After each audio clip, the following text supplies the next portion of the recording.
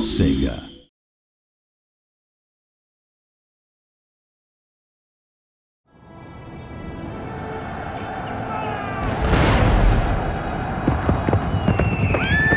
Das Zeitalter Napoleons.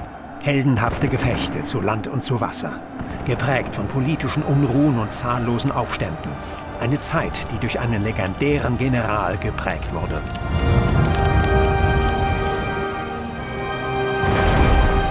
Die ultimative Herausforderung. Treten Sie in einem der neuen Mehrspieler-Modi von Napoleon Total War an und kämpfen Sie gegen menschliche Gegner.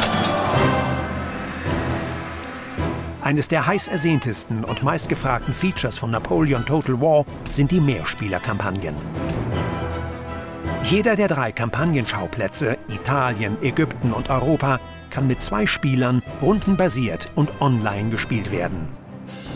Militärische Allianzen und Handelsabkommen mögen kurzfristig Stärke verleihen. Doch letztendlich kann nur ein Spieler gewinnen. Finden Sie heraus, wer Ihre Freunde und Feinde sind, indem Sie gegen sie kämpfen, oder verbünden Sie sich mit ihnen, um jeden Kriegsschauplatz gemeinsam zu erobern. Die Drop-In-Schlachten.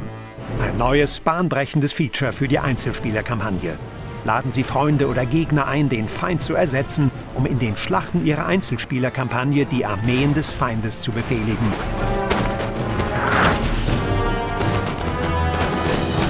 Oder warum nicht in die Kampagne eines Freundes einfallen, die Rolle des feindlichen Generals übernehmen und versuchen, seine Pläne zu vereiteln.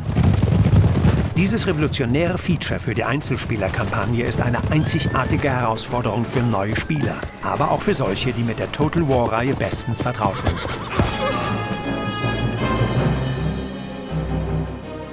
Kommandieren Sie mit bis zu acht Spielern historisch detailgetreue Schlachten berühmter Militärkonflikte dieser Epoche, darunter die epischen Schlachten von Austerlitz, Trafalgar und Waterloo. Können Sie den Verlauf der Geschichte verändern, obwohl alle Vorzeichen dagegen sprechen?